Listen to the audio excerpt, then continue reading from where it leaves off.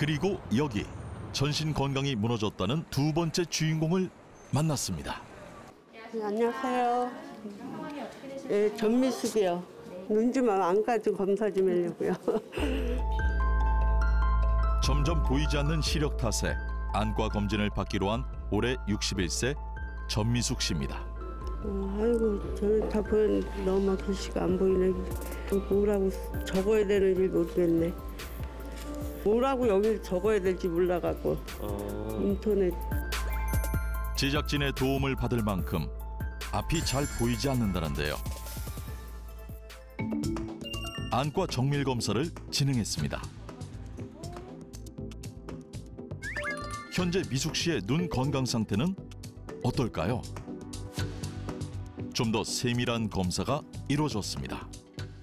당뇨합병증 같은 거는 당뇨 망막병증은 많이 심하진 않으신데 백내장이 지금 많이 있으세요. 최근에 좀 점점 더 안 보이고 그러지 않으세요? 좀 됐어요. 저 이쪽 눈은 안 보이는 지가 좀 됐어요.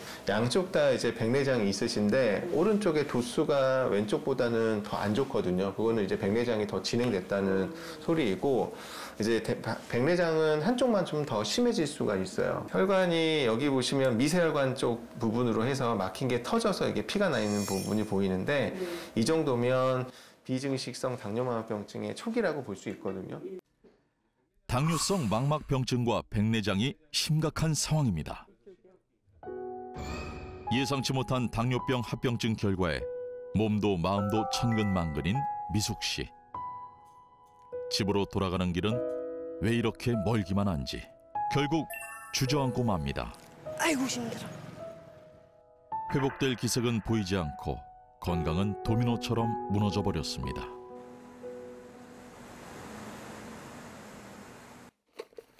집으로 돌아오자마자 숙제처럼 혈당 체크기를 꺼내 드는데요. 매일 확인해야만 하는 혈당 수치. 그때마다 떨리는 마음은 한결같습니다. 오늘도 정상 수치를 넘겼습니다. 오늘은 좀 늦게 나왔네. 어제는 조금 더 가더니. 어제는 얼마 정도? 어제는 160이요. 160. 예, 예. 그러니까 쟤는 날마다 이렇게 틀리더라고요. 인슐린 주사까지 매일 스스로 놓고 있다는 미숙 씨. 늘 하는 일이지만 언제나 그 순간은 고통스럽습니다. 인슐린 주사를 맞는 일만큼은 피하고 싶었지만 당뇨병은 그녀를 쉽게 놔주지 않는데요.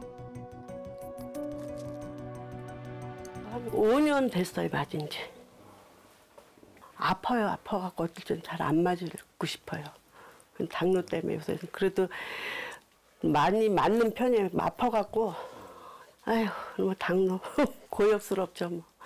약 먹는 것도 힘들고, 이 주사 맞는 것도 힘들고. 당뇨병이 왜 와갖고 그렇게 사람을 힘들게 하는지 모르겠네요. 바쁜 일상 속 자신의 건강을 돌볼 틈이 없었던 미숙 씨. 조금씩 늘어가던 체중. 그 대가는 너무나도 혹독하기만 합니다. 아이고 징그러. 아이고 너 뱃살이 안 빠지네. 그냥 이놈 뱃살 좀 빠졌으면 좋겠네. 뱃살 좀 빠졌으면 대상 좋겠네. 아이고 수원이 뱃살 빠지는 거하고 당뇨병 다 낫는 거하고 수원이네. 뭐 뱃살이 쭉쭉 빠져야 당뇨도 좀 덜 할 텐데. 체중이 불어나면서 건강은 무너져갔고 어느 날 갑자기 수시로 갈증을 느꼈다는데요. 당뇨병 전조 증상으로 다음 증상이 나타난 것이었습니다. 당뇨병을 진단받은 지도 어느덧 20년째입니다. 아프고 다리도 아프고 20년째 당뇨병과의 전쟁을 벌이다 보니 안 아픈 곳이 없다는데요. 아이고 힘들어. 아이고 아이고. 음. 아이고 우리야. 뭔가 모든 게 다 온 것 같아요. 당도 심하고 허리도 아프, 협착증 때문에 아프고 가- 다리도 아프고 하니까 걸어가다가 또 이렇게 자꾸 한쪽으로 쓰러지려고 그러더라고요. 뭐라고 말을 해야 돼. 종합적으로 다 뭐, 몸이 아픈 것 같아요. 합병증으로 얼굴이 비뚤어지는 구안 와사까지 겪어야만 했습니다. 물이 이렇게 질질 흐르더라고요. 물을 먹고 나니까. 물 마시는데 이게 넘어가지가 않고 이 바깥으로 새더라고요. 그래갖고서는 얼른 거울을 보니까 약간 입이 삐뚤어진 것 같아요. 돌아간 것 같아갖고 바로 경희대로 갔더니 입이 돌아갔다고 그래갖고 합병증이 두려운 이유 바로 친정 어머니 때문입니다. 합병증인지 몰라도 치장암, 췌장암인가 치장암 그게 와갖고 초기에 와갖고서는 수술하시고 삼촌 두 분도 당뇨로다가 돌아가셨어요. 그러니까 항상 그게 걱정스러워요. 암이라는 거는 무섭잖아요. 그래서 지금 항상 췌장이 걸리면 어떻게는 항상 그 불안한 마음은 있어요.